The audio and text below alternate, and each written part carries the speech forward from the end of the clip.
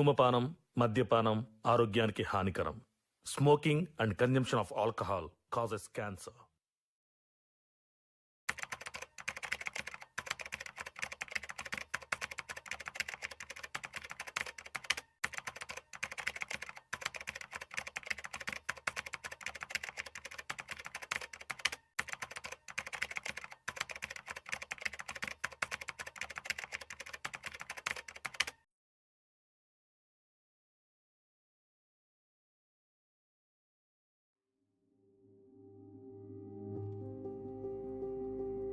ప్రతి ఒక్కరి జీవితంలో ఒక కథ ఉంటుంది.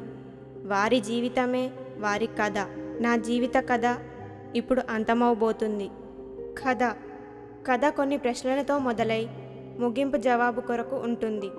అలాంటి అంతు చిక్కని ప్రశ్నలతో జవాబు దొరకని కథే నాది.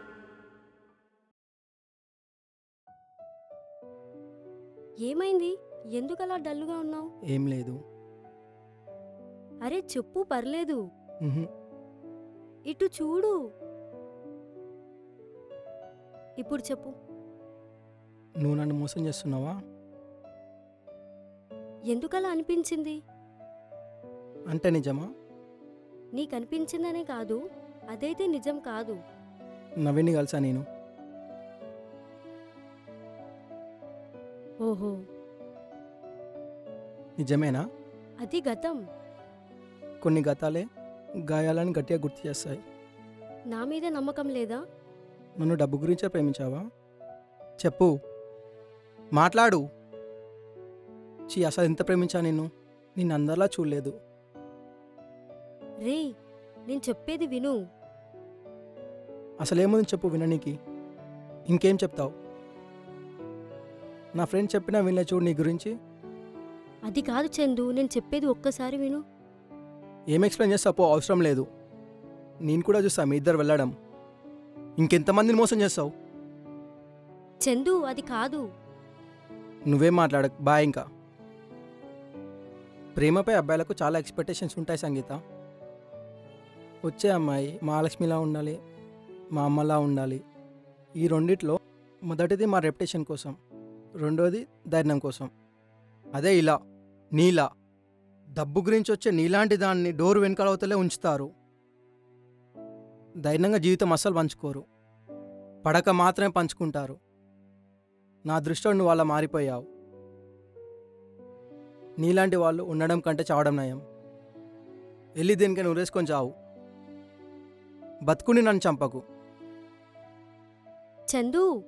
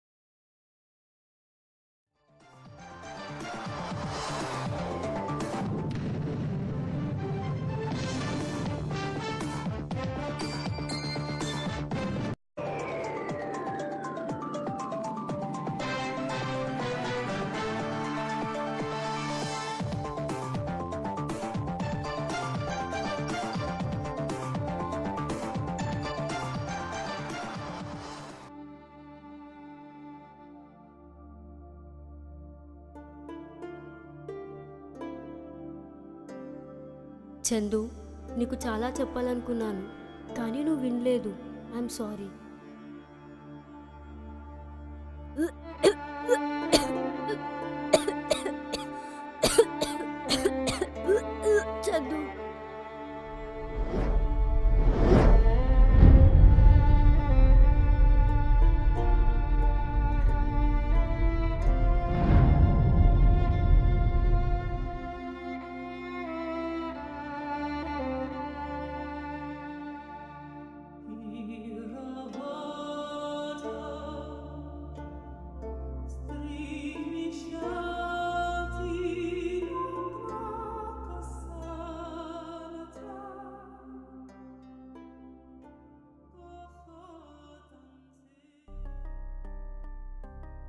finally we made it రా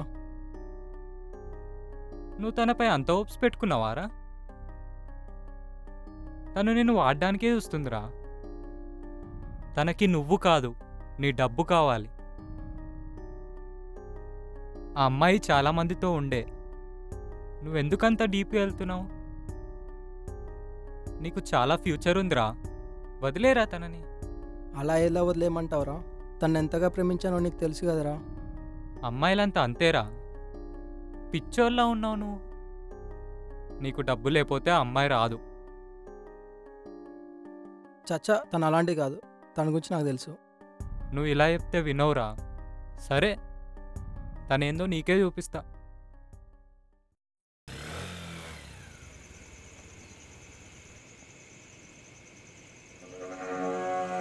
ఇదేంట్రా ఇంత చీకటి ఉంది? ఇక్కడికి ఎందుకు తీసుకొచ్చావు? చెప్తా పదా. ఈ బిల్డింగ్ పైనే ఆర్టికల్ రాయాలంట. మా వాడు దొబ్బుతున్నాడు.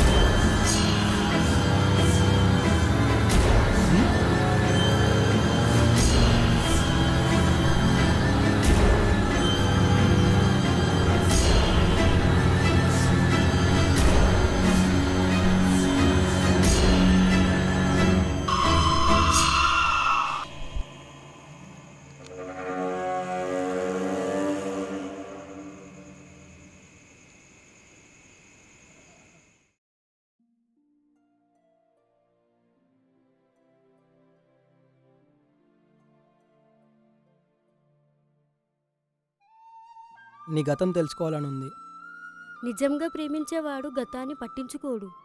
నేను అదే. గతంలో ఏమున్నా యాక్సెప్ట్ చేస్తా. గొడవలు రాకుండా ఉండాలనేది నా భావన.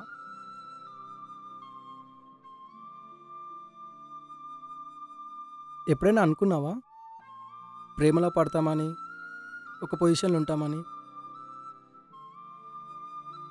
నాకు అలాంటి ఆశ లేకుండే. కానీ నిన్ను చూశాక మొదటిసారి ప్రేమ పరిచయం అయింది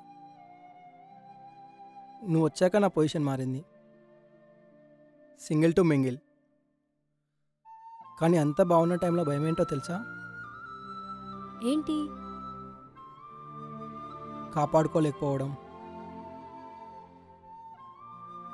ఇష్టమైన వాళ్ళు ఎక్కడ దూరం అవుతారని భయం. వాళ్ళు దక్కరని ఆలోచన ఉంది చూడు. అబ్బో. అందుకే అబ్బాయిలు అమ్మాయిల్ని పడగొట్టే టైం కంటే కాపాడడానికి ఎక్కువ కాపాలా కాస్తాం. కొంచెం కొత్తగా ఉన్నా ప్రేమలో పడ్డామన్న ఫీలింగ్ బాగుంది చందు మా అమ్మాయిలంతా వేరు. మేము కనపడగానే కాలనీలో ఉన్న వాళ్ళంతా అప్లికేషన్స్ పెట్టేస్తారు. ఏంటి? ఏంటి దీనికే? షటా అమ్మాయిలంతా మీరు పెట్టే అప్లికేషన్స్ని మేము యాక్సెప్ట్ చేయడానికి చాలా తెలుసుకోవాలి. ఇంటర్వ్యూలా ఉంటుంది. కొంతమంది ఫస్ట్లోనే ఫెయిల్ అవుతారు. ఇంకొంతమంది ఫైనల్కి వచ్చినా సెలెక్ట్ అవ్వరు. లైక్ ట్రస్ట్ కావాలి. ఒక సెక్యూరిటీ ఉండాలి. కాపలా. ఈ జర్నీలో ఉన్న వాళ్ళంతా రకరకాలుగా మాట్లాడి మా రెప్యుటేషన్ పోయి మేం బ్యాడ్ అయిపోతున్నాం. సో సొసైటీలో మమ్మల్ని ఒక విధంగా చూస్తున్నారు. గాలి దూరేంత టైంలో అలా వెళ్ళిపోతుంది. ఆ పిల్ల అలా ఈ పిల్ల ఇలా. ఈ సోషల్ మీడియా కూడా మీమ్స్ అని ఇంకా చాలా. నిజమేంటో తెలీదు. అమ్మాయి ఒక్కరిని చూస్తే చాలు. రాజమౌళిలా స్క్రిప్ట్లు అల్లేస్తారు. అలాంటి సిచ్యువేషన్ వచ్చినప్పుడు నన్ను వదిలిపెట్టకు. అంతలా ప్రేమించుకున్నాం చందు. కానీ ఈడి వల్ల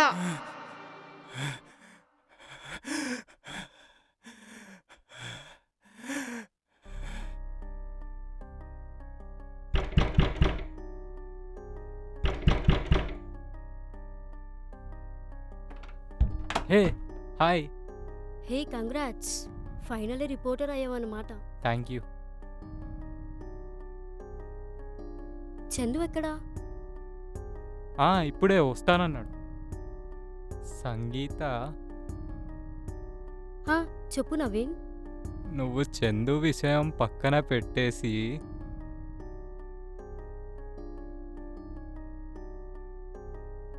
నాకు నీతో పడక పంచుకోవాలనుంది. ఏంటి? అంటే ఫస్ట్ టైం చూసినప్పుడే. జరుగు నవీన్ నేను వెళ్ళాలి. ఎక్కడికి వెళ్తున్నావు? నిన్ను పిలిచింది పార్టీకి అనుకున్నావా? వదిలు. చందు ఫ్రెండ్ వాను వదిలేస్తున్నాను. ఇంకోసారి ఇలా రిపీట్ అయ్యిందనుకో పోలీస్ కంప్లైంట్ ఇస్తా. ఓవే నీ పని ఏం చేయాలో నాకు తెలుసు. ఇంతేనా నువ్వు నన్ను నమ్మింది? నీకు చెప్పడానికి చాలా ట్రై చేశాను.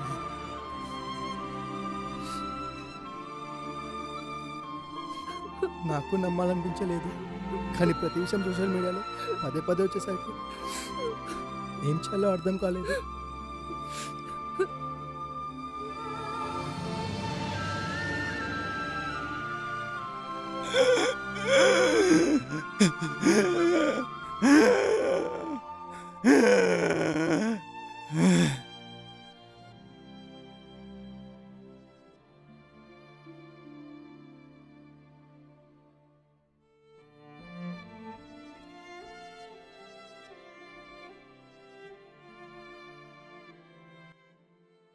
నమస్కారం సార్.